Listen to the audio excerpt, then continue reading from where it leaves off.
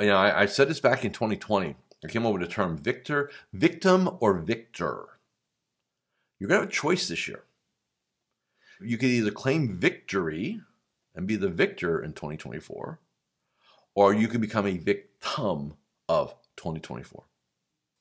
Hi, it's Coach Joe Lukacs, and welcome to the Magellan Network Show.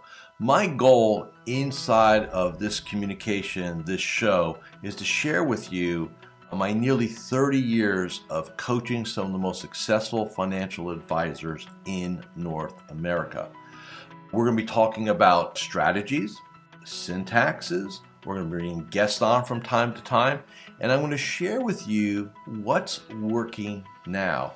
So think of this show as sort of like a little one-on-one kind of mini coaching cast, if you like, where we're going to be going in depth from time to time on strategies to help you grow your business, get more effective, become more efficient, find balance in your time management, grow your business, and quite frankly, whatever else is going on in the world today. So before we get to today's episode, I'd love for you to do a couple things for me. Number one, make sure that if you're watching this on YouTube that you subscribe to our YouTube channel.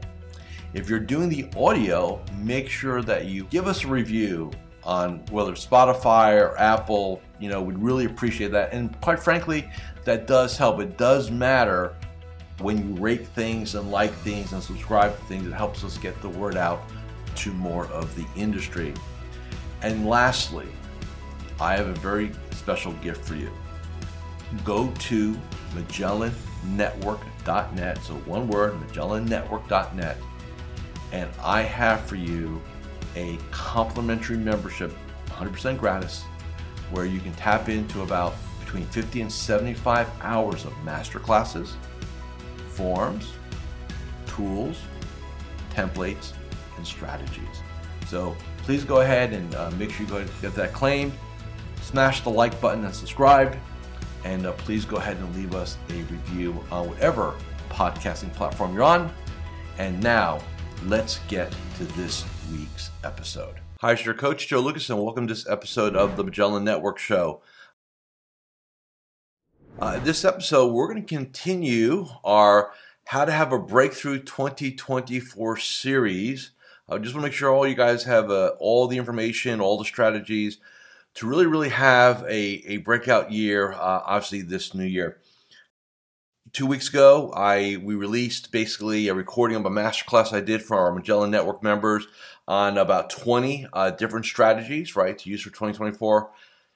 Last week, we talked about how to do goal setting, right? Because a lot of advisors kind of um, they just don't have a good approach to it. So if you missed that episode, go watch that.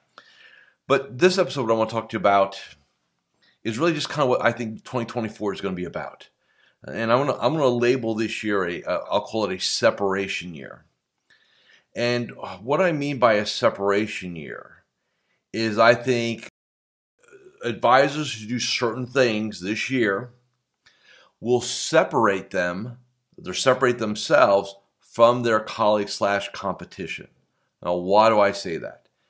Because I truly believe 2024 is going to be the year of distraction. Why? Because we are going to have a national election in the United States.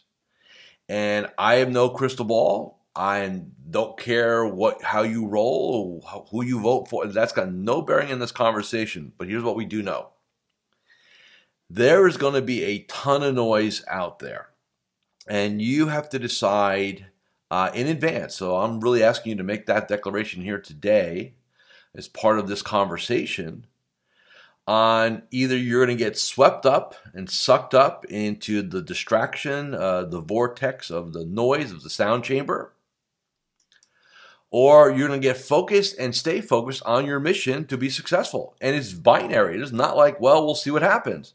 Can't do it that way. The bottom line is your clients are going to need you to be to be focused they need to navigate the noise, and you have to be the one to help them navigate it when it comes to their money game. And you're not going to be able to do that if you're swept up in the same storm. For the next five years, right? The Next five years, there are three things that, you know, are just, they're absolutes. Number one, boomer retirements, right? We talked about that. I don't have final numbers back from uh, 2023, but I can tell you my my uh, my sense of the matter is that my clients had a record-setting asset gathering year in 2023, and I fully expect us to break that record in 2024. Why? More boomers retiring. That's situation number one. Situation number two is there'll be more advisors retiring or planning to retire. So um, they're just not going to be super aggressive, super proactive out there in marketing, branding, and business development. They're just not. And then the third piece is, quite frankly, business owners are going to be retiring, selling their businesses. Whether they sell their businesses to inside family members, ESOPs, or they sell to a third party in a scenario, there's going to be liquidity events. It happens. And there's two ways that I'm going to look at this. And I'm going to give you two different distinctions over two different periods of time to tell you why, if you commit to being 100% focused on those things you can't control, you will be much better off come December 31st of this year. All right, now, I'm going to take you back. Some of you remember this, some of you do not, but that's okay. I'm going to take you back to the fall of 2008. We'll put us in a little time machine, take us back. I remember the fall of 2008 like it was yesterday because it's probably the most, it was probably one of the top two most intense coaching scenarios that I've ever worked through as a coach. Why? Because there was some real conversation about whether or not we would have a stock market come a Monday. Like, what is going on? Remember, I mean, the rest of the world was great, but the financial markets were imploding. Firms were going out of business, firms were being bought out.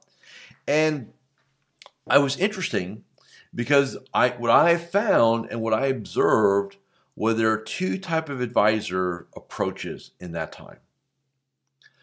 First approach, sucked up in the vortex of the noise, bolted on to CNBC, uh, reading everything online, worrying about their firm stock price, like all this stuff, not dealing with their clients as much, definitely not getting out there and trying to help people. Just how's this going to affect me? Look at my world, how it's crumbling. It's all about them, right? And so they were a victim a victim in that time. The second type of advisor said, Man, this sucks, but nothing I can do about it. It, it is what it is, and let me go control the controllable, which is what I'm going to do. And they went out there and talked to their clients. They got a ton of referrals. Uh, they brought new clients in, and yeah, it didn't really it didn't really move the needle economically because the market was doing what it was doing. But I'll tell you what, they went to work. They brought in a lot of new households, a lot of new money. And then in uh, March of 2009, when things pivoted, they were rewarded for basically the next decade, right? For all that. It was a choice. Now, I, I'm not crystal balling anything here, right? Like, I don't anticipate that this year, other than the fact there'll be a lot of noise and a lot of distractions. Second situation was March of 2020. We all remember that, right? Hi, Coach Joe Lukacs here, and I'm just breaking here for a moment just to do a couple quick reminders. Number one, uh, make sure you subscribe to our YouTube channel or our podcast. In addition, please leave a, a comment or a review. Those things really, really matter. And uh, share this episode with three of your colleagues inside the financial services space. And lastly, make sure that you go ahead and claim your free membership inside of Magellan Network. Now, back to this week's episode. I'm going to share this with you. It's a true story. I'm not going to get into names because I don't want to embarrass anybody. But at the time, I was working for a client, uh, working with a client, newer client, who uh, worked for a firm uh, that Goldman Sachs was the, was buying, and I'm just I'll leave it at that. I remember in Mar- in in uh, March of 2020, he 911 texted me and said he has to speak to me immediately. So okay, like I get it, right? So I get him on the phone. Hey man, what's going on? He goes, Hey, we got to start working together. I said, Okay, like whatever you want to do, man. I get you, right? He goes, No, no, you don't understand. I said, We're going to be in a depression. There are going to be soup lines.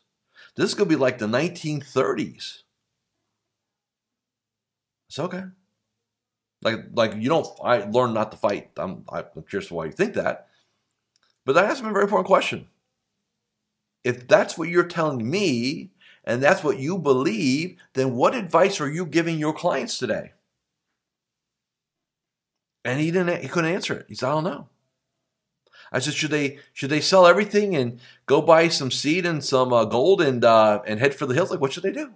Like, what what are you going to have them do?" What happened to that advisor? He got caught up in the noise. And look, I'm not diminishing a pandemic. Let me be very clear in this conversation. Okay, people died. We all probably know somebody who died. But that advisor, because they didn't make a conscious decision about how they're going to handle things in advance, that swept up. I think they're even out of the business today, if I'm accurate with that. So I don't expect, again, this to be that. And some of you going to say, well, Joe, I thought you're like this motivational coach. And I said, no, I'm not. Look, I'm a strategist. I'm not going to sit there and say to you, it's not going to rain. Look, it's going to rain. Okay? Be prepared. I live in the state of Florida. You know what we do every May 1st? Hurricane preparation. Is that negative thinking? No, it's preparation. So just in case something happens, we have a game plan. Well, I'm saying here to all of you, have a game plan if things get a little spicy, dicey as we go through the year, especially in the fall.